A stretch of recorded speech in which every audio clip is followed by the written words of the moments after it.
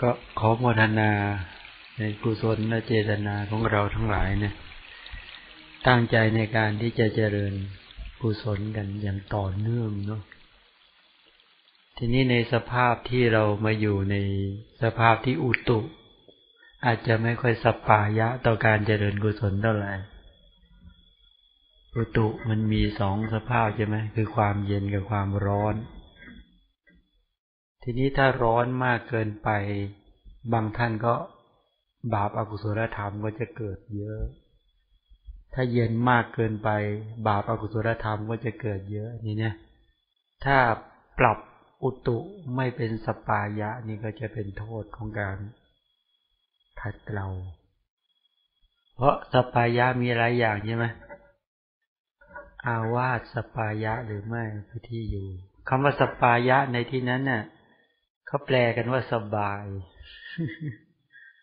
อุตุสัปปายะ อาหารสัปปายะ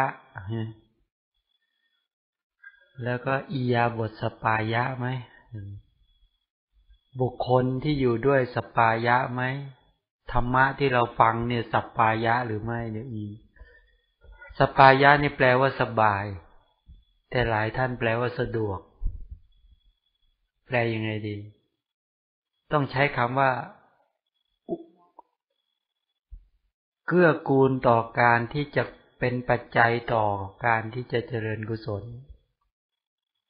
เป็นอุปนิสัยปัจจัย เป็นต้นน่ะ แก่กุศลธรรมได้ง่ายไหม เป็นปัจจัยแก่ศีลสมาธิปัญญา เป็นปัจจัยแก่ศรัทธาวิริยะสติสมาธิปัญญาหรือไม่ ถ้าเราอยู่ณสถานที่ใดเนี่ยศรัทธาที่ยังไม่เกิดก็เกิดขึ้น วิริยะที่ยังไม่เกิดก็เกิดขึ้น สติที่ยังไม่เกิดก็เกิดขึ้น สมาธิปัญญาที่ยังไม่เกิดก็เกิดขึ้น และที่เกิดขึ้นแล้วก็เจริญไพบูรยิ่งยิ่งขึ้นไป ที่ตรงนั้นเขาเรียกว่า สปายะ เนี่ยนะนี่เขาเรียกอาวาสหรือที่อยู่สปายะทีนี้มันก็อยู่อีกนะว่าถ้าเราไม่รู้จักว่า อะไรเป็นกุศลอะไรเป็นอกุศลอันนี้ก็ก็ลำบาก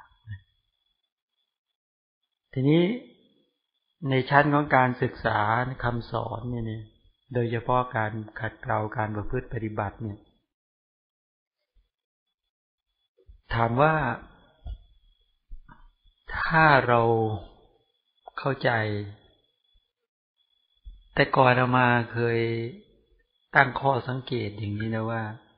แต่ก่อนเราไม่มีข้อมูลก็ปรารถนาอยากมีข้อมูล ซึ่งมีอยู่ยุคหนึ่งนะเอามาเป็นผู้ที่ไขว่คว้าหาข้อมูลเยอะ วิ่งหาข้อมูลเนี่ยนะ แต่พอได้ข้อมูลแล้วเนี่ย มันมีปัญหาอะไรหรือไหมเออ มีปัญหา เอามาใช้ในชีวิต จริง ๆ เอามากันไม่ได้ เอามากันเป็นรูปแบบปฏิบัติไม่ได้ แล้วก็วิ่งมาฉะนั้นบรรดาคนในกลุ่มผู้แบกข้อมูลเนี่ยก็จะมีปัญหาตรงนี้ที่ไม่สามารถที่จะเจาะเข้าไปถึงอัฏฐะและพยัญชนะได้อย่างครบถ้วน คือบางทีเนี่ย ถ้าเราจะหามุมยุติใช่ไหมหนึ่งสัทธายุตินี่ ยุติกันที่ ศัพท์และพยัญชนะสองอัฏฐายุติ หาข้อยุติกันที่อัฏฐะหรือเนื้อความ แต่สภาวะยุติเลยการจะเข้าถึงสภาวะที่แท้จริงเนี่ยนะอันนี้มันมองไม่ถึง ฉะนั้นสิ่งต่าง ๆ ตรงนี้ก็คือ ก็ต้อง ทำความเข้าใจนะทำความเข้าใจให้ชัด ตรงนี้ก็คือ อยากจะให้มุมวิธีคิดว่า ถ้าเราเนี่ยนะ ปรารถนาที่จะ เข้าใจในเรื่องอะไร ถ้าปรารถนาอยากจะเข้าใจว่าสภาพของศรัทธาเนี่ย เกิดกับเราหรือไม่ โดยตรงไหน ถ้าปรารถนาอยากจะทราบว่าศรัทธาเกิดกับเราหรือไม่เกิดเนี่ย ก็ต้องดูว่าสภาวธรรมที่เป็นศรัทธาที่แท้จริงเนี่ยเกิดขึ้นกับเราหรือไม่ ดูตรงไหน ในชั้นคำสอนท่นใช้คำว่า สัทธาหันติเอตายะสยังวาสัทธาหติ สัทธาหันนะมัตตะเมวะแล้วก็อวา เอสาติสัทธา คือลักษณะศรัทธาเป็นต้นนั่นเนี่ย ก็หมายความว่าหนึ่งสภาพที่มีความเชื่อ เชื่อต่อสัตยยวัตถุคือสิ่งที่ควรเชื่อ อะไรคือสิ่งที่ควรเชื่อ พระพุทธเจ้า พระธรรม พระสงฆ์เชื่อในกรรม เชื่อในผลของกรรม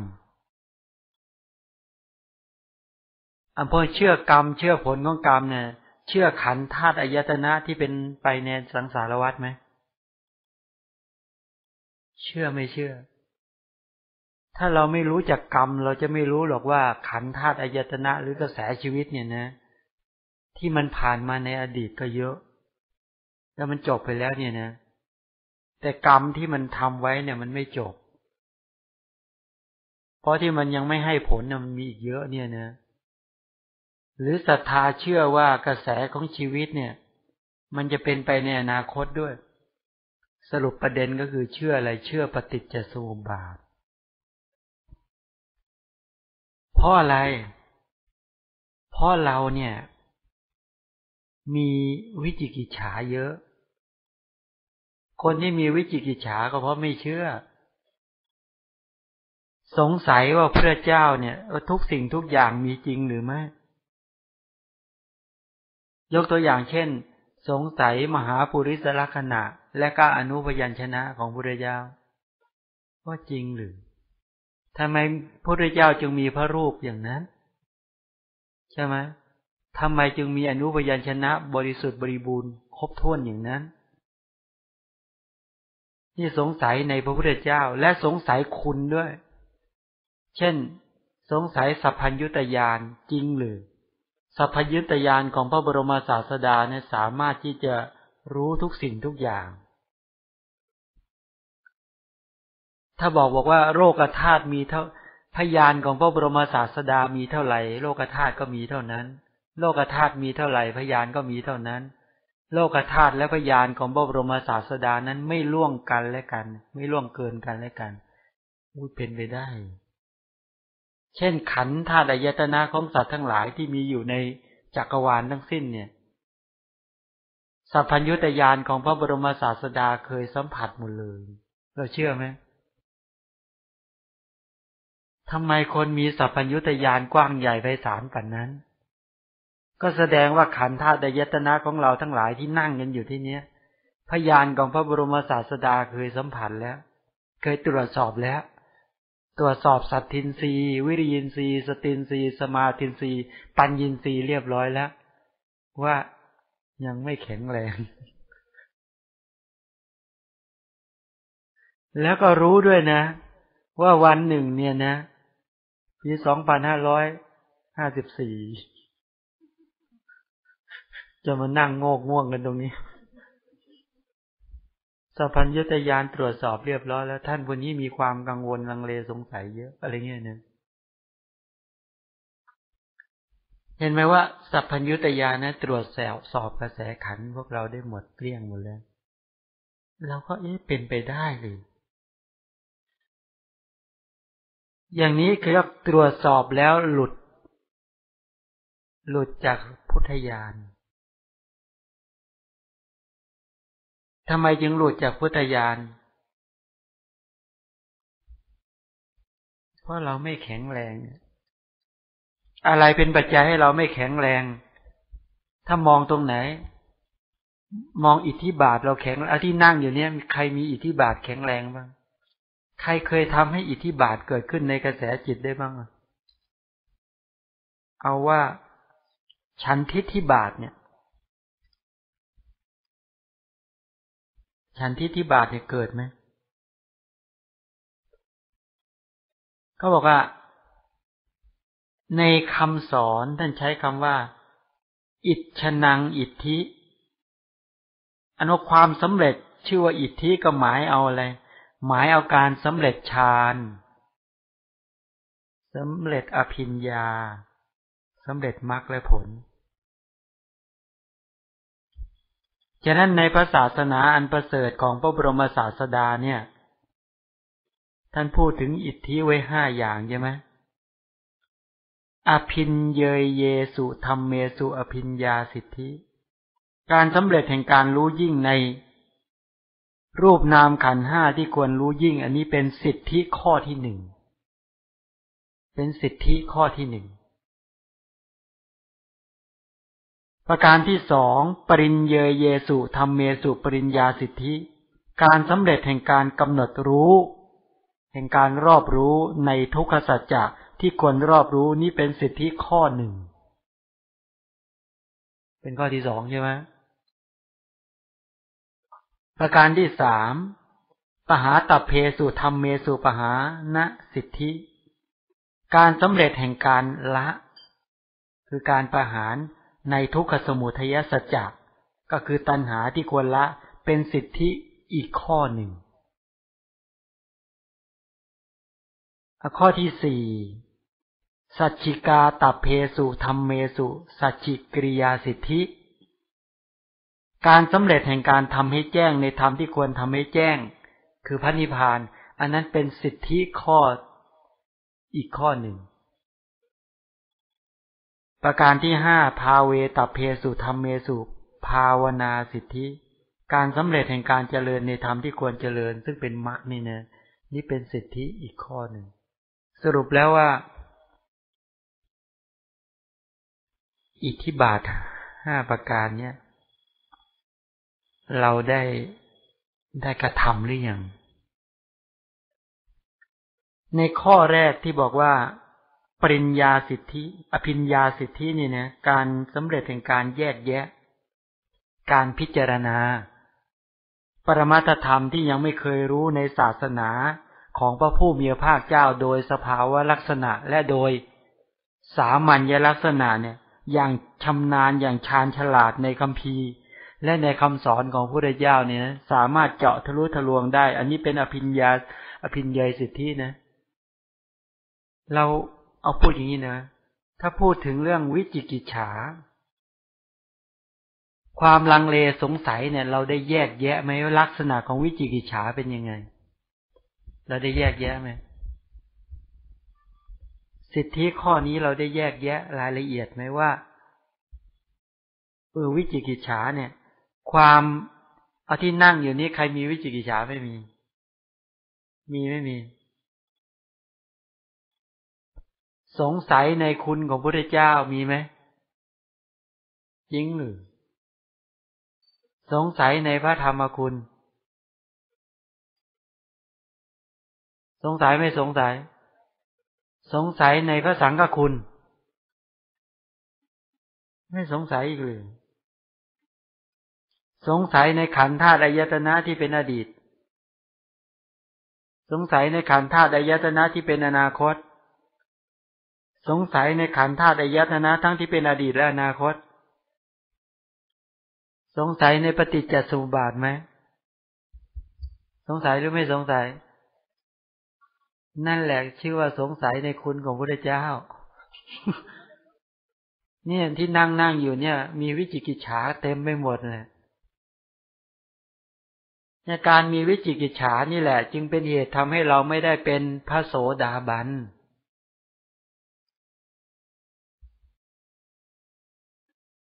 ทีนี้วิจิกิจฉาเนี่ย เป็นธรรมชาติที่ ลังเลไหมลังเล ไม่ปักใจเชื่ออย่างแน่นอนใช่ไหมไม่ปักใจเชื่ออย่างแน่นอนทำไมทำไมจึงไม่ปักใจเชื่อ เพราะอะไรอะ เดี๋ยวมาจะไล่วิจิกิจฉาให้ดูนะว่าจริง ๆ เราสงสัยหรือไม่สงสัยนะเอาทุกคนเลยนะลองนั่งนั่งเราเราคิดดูว่าเรามีข้อนี้หรือไม่ประการแรก สงสัยในคุณของพระเจ้าเนาะสงสัยพระเจ้าเนี่ยทุกสิ่งทุกอย่างมีจริงหรือไม่จริง นี่นะสงสัยนะพระพุทธเจ้าเนี่ยมีจริงหรือไม่จริง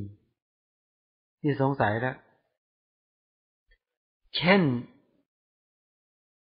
อนาวรณญาณ อินทริยปรโรปริยติยานอาสยานุสยญาณ มหากรุณาสมาปฏิญาณอะไรก็เยอะแยะไปหมดเนี่ยนะ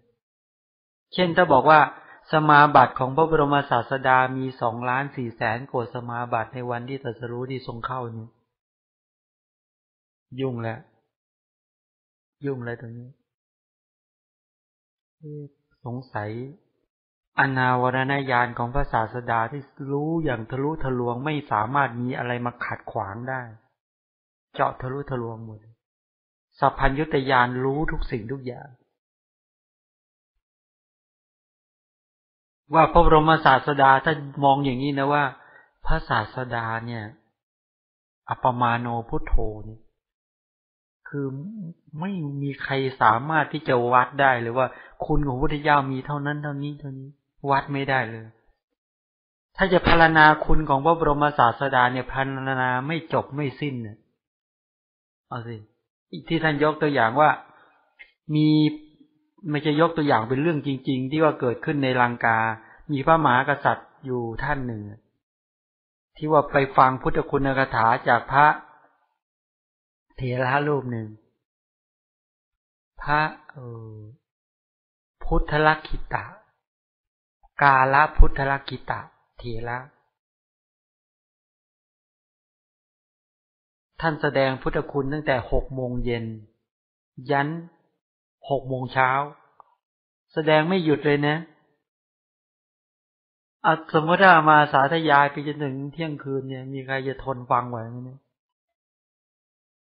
สาธยายปุ๊บปุ๊บปุ๊บไปตามลำดับเนี่ย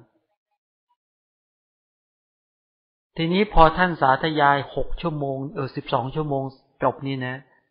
ท่านได้ยินคำว่าสาธุสาธุสาธุเนี่ย อยู่ละอยู่ท้ายศาลานี่นะ คนทั้งศาลาก็เหลียวไปดู พอเหลียวไปดูเบ็ดเสร็จ พระเถระก็ถาม โอ้มหาวพิษบอกว่าเสด็จมาตั้งแต่เมื่อไหร่ ท่านก็กราบ บอกกับพระเถระว่าบอกข้าแต่ท่านมหาเถระบอกพระคุณเจ้า โยมมาตั้งแต่หกโมงเย็นเนี่ย แล้วก็ยืนยืนฟังธรรมอยู่อย่างนี้ไม่ได้ขยับเลยนี่นะยืนฟังเนี่ยก็หกโมงเช้า พระเถระก็สาธุ แล้วก็โอ้มหาบพิษทำสิ่งที่ทำได้ยากที่สุด ที่ที่มนุษย์ธรรมดาจะทำได้เนี่ย ใช่ไหม เอามีใครยืนฟังทำได้ถึงชั่วโมงไหมที่นั่งนั่งอยู่เนี่ยยืนฟังนะ ได้ไหมทีนี้ก็บอกว่าสิ่งท่านก็บอกว่า สิ่งที่โยมทำได้มากกว่านี้อีกพระก็ถามว่าอะไร ในขณะที่โยมยืนบนมมือฟังพระคุณเจ้าแสดงธรรมเนี่ย โยมไม่ได้ส่งจิตไปทั้งอื่นเลย กระแสจิตของโยมสัตทินรีวิรินรีสตินรีสมาตินรีปัญญสีโยมตามกระแสพระธรรมเทศนาของพระเถระในพุทธคุณกถา ซึ่งมีความไพเราะมั่งพระเถระก็บอกว่า โอ้โหมาวิททำสิ่งที่ทำได้ยากมากมากยากไหม การฟังแล้วไม่ส่งจิตไปทางอื่นเลยเนี่ย ถ้าสมมุติอามาจะสาธยายเนี่ยสาธยายเป็นไปตามดับบอกว่า เอวเมสุตัง เอกังสมยังบกวาภาราณสิยังวิหารติอิสิปตเนมิกกดาเยตัตระโคบกวา ปัญญวากิเยบิคูอามันเตสีไล่ไปตามดับเนี่ย พอจบสูตรก็แปล ทุกสูตร ทุกสูตรไล่เงี้ย สมมติเงี้ยนะ หรือแสดงพุทธคุณในคาถามาก็เอามาเลย ในคำพีพุทธวงศ์หรือในคำพีจริยาพิดกมาก็สาธยายเป็นบาลีก่อน แล้วก็ แล้วก็กล่าวแปลเนี่ยเอามาว่าหลับนี้หมดใช่ไหมเพราะสมัยก่อนท่านแสดงเป็นไปตามสูตรเนี่ย ไม่ได้แสดงลักษณะเหมือนที่จะมาแสดงแบบนี้นะ ทุกวันนี้จะไปแสดงตามสูตรเนี่ย หลายคนฟังไม่ไหว คือปริมาณปริมาณของกระแสใจเราจะรับไม่ไหวอะ เพราะพระธรรมเทศนาที่พระศาสดาเนี่ย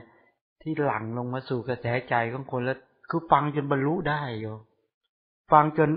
ปลาโมดปีติปัสสติความสุขสมาธิอะ จนยถาปุถยานทัศนะเกิด แล้วบรรลุในขณะฟังกันได้เลยมันเป็นอย่างนี้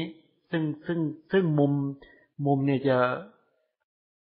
ผิดกับที่เราแสดงกันในยุคปัจจุบันนี้ใช่ไหมนี่เป็นอย่างนี้ ทีนี้พอพอเบสเสร็จท่านก็บอกบอกว่า เนี่ยท่านฟังเนี่ย แต่ยังไม่อิ่มจากพุทธคุณกถาเลย ขอให้พระเถระช่วยอุปมาหน่อยเถอะ ว่าคุณของพระบรมศาสดานั้นมากมายขนาดไหน พระเถระก็ยกอุปมาไว้ว่าอุปมาเนะ เหมือนกับบุรุษท่านหนึ่งเนี่ย บอกไปเกี่ยวข้าว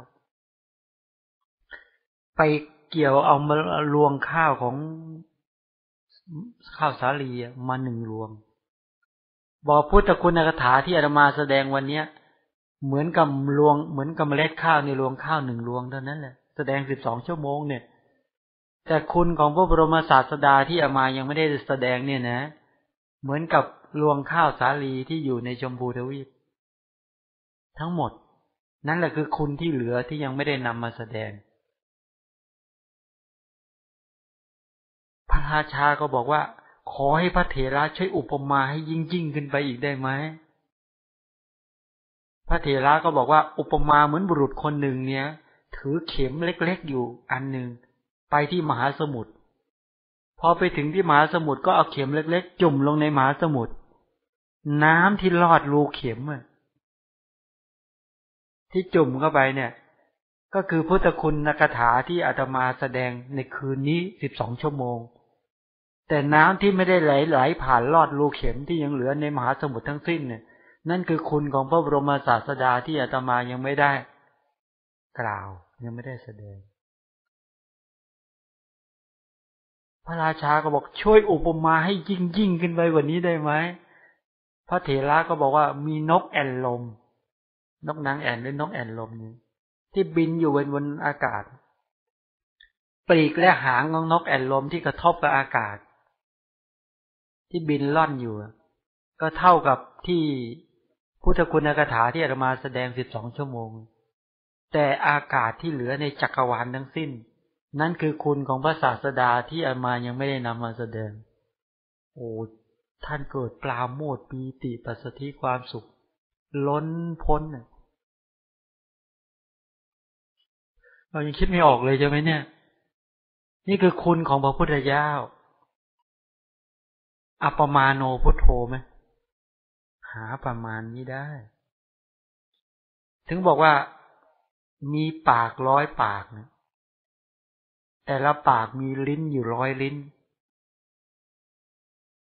แต่ละลิ้นไม่ได้ทำกิจอย่างอื่นเลยนะพรณนาคุณของพระศาสดาเนี่ยนะจนกลับนี้สิ้นไปคุณของพระเจ้าก็ยังไม่หมด เอางี้นะว่า พระพุทธเจ้าเนี่ยพารณาคุณของพระพุทธเจ้าด้วยกันเองเนี่ยนะกลับนี้แตกดับไปเนี่ยนะ คุณพระเจ้าก็ยังไม่หมด นี่เป็นอย่างนี้ เพราะอะไร เพราะพระศาสดานั้นสร้างบารมีมามากกว่ากลับไหม มากกว่ากลับ มากกว่าอสงไขยกลับไหม มากกว่า มากกว่ามหากลับไหม มากกว่า ใช้คำว่ามหาอสงไขยเล็กสี่ครั้งเป็นมหากราบใหญ่ ในมหากราบใหญ่เนี่ยนับโลกใบเนี้ยจักรวาลนี่นะ โลกใบนี้แตกดับ เกิดขึ้นตั้งอยู่แล้วก็แตกดับ แต่เกิดขึ้นตั้งอยู่แตกดับ เท่ากับเลขหนึ่งตามด้วยเลขศูนย์ร้อยสี่สิบศูนย์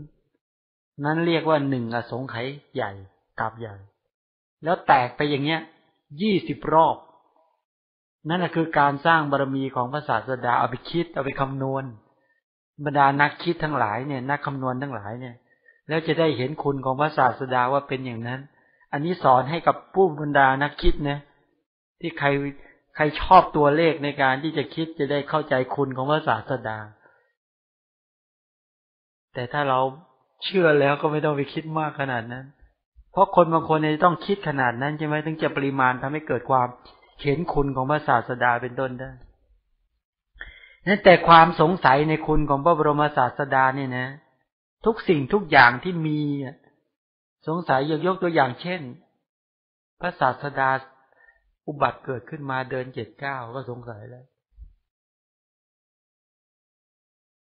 ใช่ไหมสงสัยแล้ว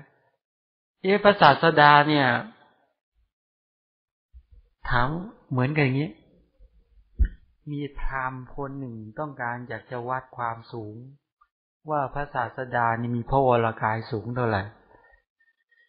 ก็ไปตัดไม้ไผ่ลำหนึ่งอย่างยาวเลยนะ ก็ไปยืนอยู่ที่ประตูเมือง พอพระศาสดาเสด็จมาก็เอาไม้ไผ่ค้ำว่าพุทธเจ้าจะสูงแค่ไหนแค่พระชานุมนทนหัวเข่า ไม่ไผ่ลำเอ๊ะไม่ได้เดี๋ยวต่ออีกลำดีกว่าดูวันรุ่งขึ้น ก็มาต่ออีก ก็วัดได้เท่าเดิม เนี่ยเข้าใจคำว่าอัปมาโนพุทโธไหมอันนี้แค่รูปประกายนะ ฉะนั้นพระเจ้าเนี่ยประมาณได้ไหมประมาณไม่ได้ อสุรินทราหูใช่ไหมอสุรินทราหูนี่ตัวโตไหมใหญ่โตมาก ระหว่างคิ้วของอสุรินทราหูเนี่ยห้าสิบโยชน์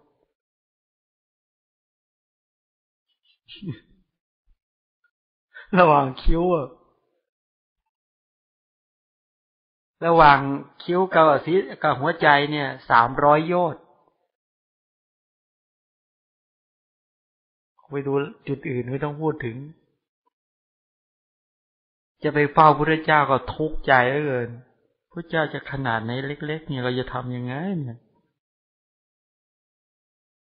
แต่ก็ความปรารถนาจะไปเฝ้าเนี่ยนะ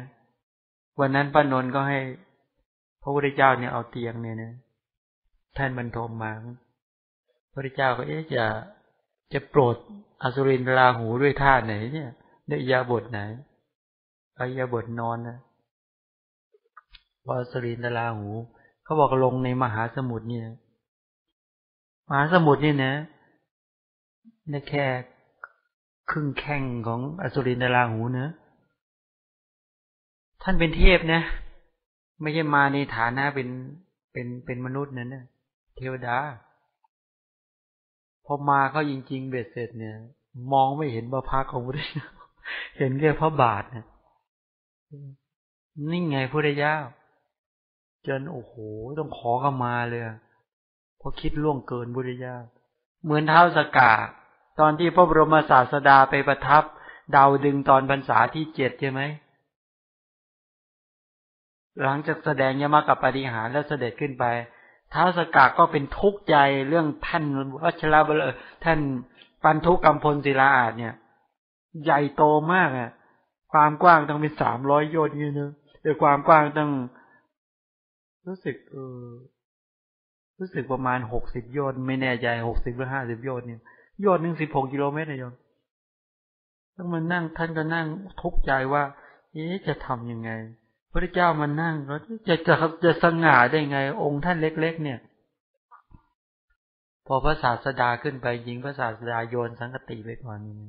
สังกตินี่คุมพอดีนะ ปันทุกกรรมบนศิลาอาดเนี่ยแล้วก็ประทับนั่งเนี่ยแน่นพอดีเลย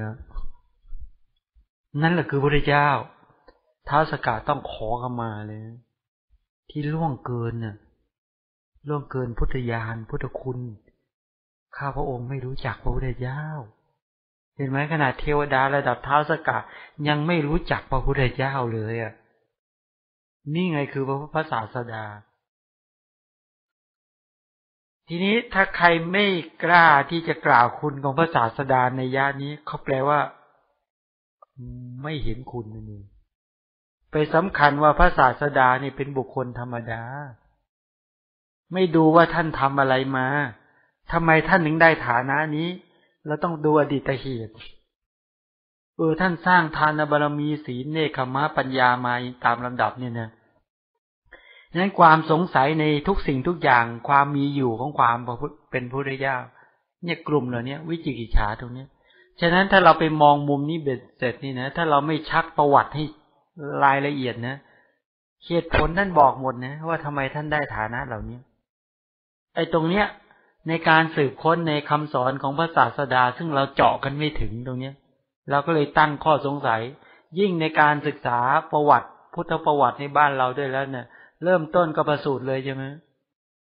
เริ่มต้นกันตั้งแต่พระเจ้าโอกากราชมีต่อมามาตามดับมาถึงพระเจ้าสุโธธนะ แล้วเบ็ดเสร็จก็มามีนางสิริมหามายาแล้วก็มาคลอดแล้วทรงพระคันแล้วก็มาคลอด แล้วก็เดินได้เจ็ดเก้าคนสงสัยกันทั้งบ้านทั้งเมืองเลยตอนนี้ นี่ไม่ไม่บอกประวัติ ว่าท่านบำเพ็ญทานบารมีศีลเนคขมาปัญญาวิริยะ ขันติสัจจะอธิฐานเมตตา แล้วก็เบขา อุปปารมีอีกสิบปรมาทบารมีสิบผ่านพระเจ้ามาแต่ละองค์ แต่ละองค์แต่ละองค์มาตามลำดับไม่ดูประวัติท่านนี้แล้วก็ไม่ไปดูในชั้นของคำสอนในทีกนิกายที่พูดในเรื่องของมหาปุริสละขนาดสามสิบสองและอนุพยัญชนะแปดสิบ ว่าแต่ละอย่างที่ได้มาเพราะทำกรรมอะไรมาเนี่ยพอไม่ได้ชักประวัติหรือศึกษาข้อมูลอย่างเงี้ย พอมาอ่านตูมปัจจุบันก็เรียบร้อยเลยตำหนิสิ่งที่มีพระคุณอันประเสริฐนี้เนี่ยคือโทษ การเรียนไม่ดีเนี่ยเป็นโทษมากมากสองสงสัย ปฏิบัติธรรม